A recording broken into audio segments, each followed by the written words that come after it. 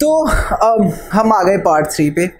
ये first question है अब तक की जितने भी हमने पार्ट्स किए, जहाँ पे वेरिएबल अब हमने एक्स की बजाय टी ले लिया।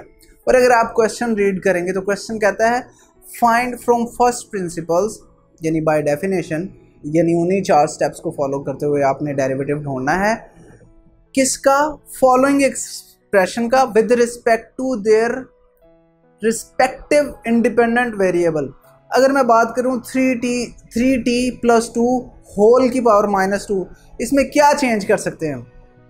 इंडिपेंडेंट वेरिएबल का मतलब है जो हम वेरी कर सकें, यानी चेंज कर सकें।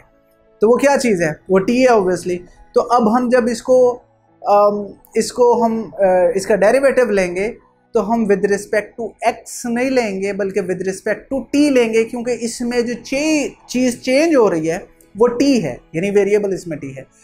बाकी कुछ भी नहीं है, सब स्टेप सेम है, हम लिखते हैं वैसे ही। तो पहले क्या करते थे, y को इक्वल ले लेते फ़ंक्शन के, अब भी ऐसे ही करेंगे। लेफ़्ट साइड पे हम डेल्टा y ऐड करते थे राइट साइड पे हम डेल्टा x ऐड करते थे, अब डेल्टा x नहीं करेंगे, अब डेल्टा t ऐड करेंगे, क्योंकि इस केस में वेरिएबल जो है वो t है। तो जहाँ जहाँ t है, वहाँ वहाँ t प्लस डेल्टा t लिख देंगे।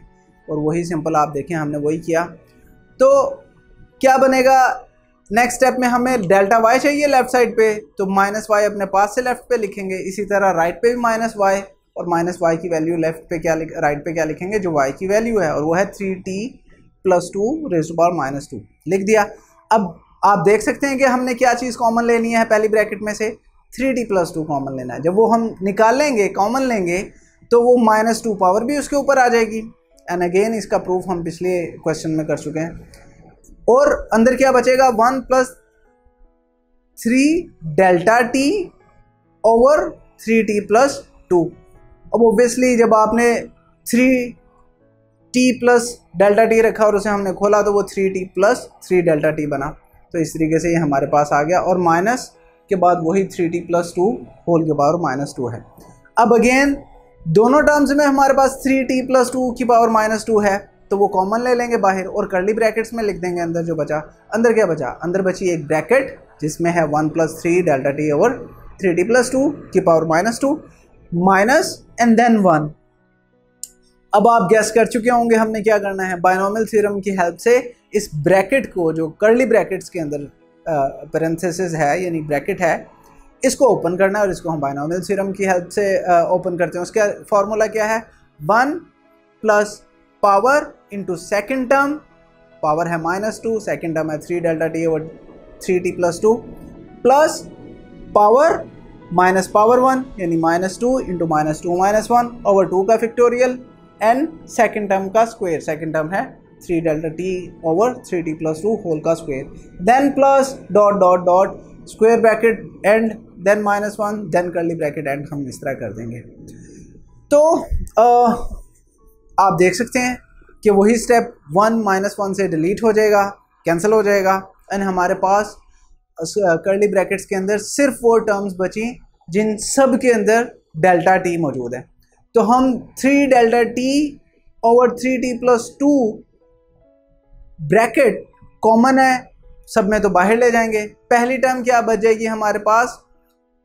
जो भी पावर थी पावर थी माइनस टू तो माइनस टू प्लस एंड आगे सब कुछ वो वैसे का वैसा ही।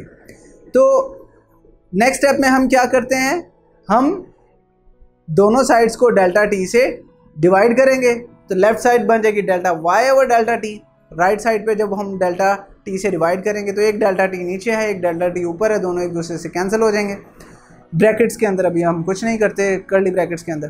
तो हमारे पास क्या बचेगा इससे पहले? थ्री टी प्लस टू की power minus two and delta T चूँकि कैंसिल हो गया तो इसलिए ऊपर थ्री बच जाएगा नीचे वैसे का वैसा, यानी three T plus two and curly brackets के अंदर जो है, अभी उसे हमने छेड़ा नहीं है। तो अब अगेन ऊपर माइनस टू है, नीचे थ्री टी प्लस टू है थ्री टी प्लस टू को जब मैं ऊपर लेके जाऊँगा तो ये माइनस वन बन जाएगा, minus two minus one minus three तो इसलिए हम थ्री टी प्लस टू की पावर माइनस थ्री लिख देंगे। और जो थ्री था वो वैसे का वैसा ही लिखा रहेगा। अभी तक हमने करली ब्रैकेट्स को नहीं छेड़ा।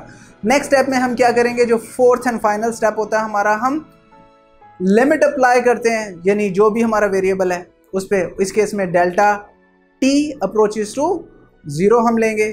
तो वो क्या होगा? इसका मतलब है लेफ़्ट साइड पे लिमिट लेंगे राइट साइड पे लिमिट लेंगे लेफ़्ट साइड पे जो डेल्टा वाई और डेल्टा टी है, वो डी वाई और डी टी बन जाएगा, यानी वो डेरिवेटिव बन जाएगा। एन लेफ़्ट साइड में जो कर्ली ब्रैकेट्स है, इसके ऊपर हम लिमिट लगा देंगे। लिमिट लगाने का मतलब है, जहाँ जहाँ डेल्टा टी होगा, वो ज़ीरो हो जाएगा सब। तो सिवाय फ़र्स्ट टर्म यानी माइनस टू के अलावा हर एक में ज़ीरो मल्टीप्लाई हो रहा है। इसलिए minus two plus zero plus zero dot dot हम लिख देंगे। तो कर्ली ब्रैकेट्स में हमारे पास बचा माइनस टू तो देखिए थ्री टी प्लस टू की पावर माइनस थ्री है इंटू थ्री है इंटू माइनस टू तो माइनस टू इंटू थ्री क्या हो जाएगा? माइनस सिक्स एन ये हमारा आंसर है। तो आपने देखा कि बड़ा आसान था, हमने क्या किया? माइनस सिक्स का मतलब यह है कि पावर, यानी माइनस टू, को मल्टीप्लाई किया जो टी का कॉफिशेंट है, यानी थ्री तो minus two into three, minus six और जो ब्रैकेट की पावर है उसमें से एक माइनस कर दिया, यानी माइनस टू थी, उसमें से एक माइनस करेंगे तो माइनस थ्री हो जाएगा, इस तरह हमारा डेरिवेटिव बन जाएगा, ये हमारा शॉर्टकट था।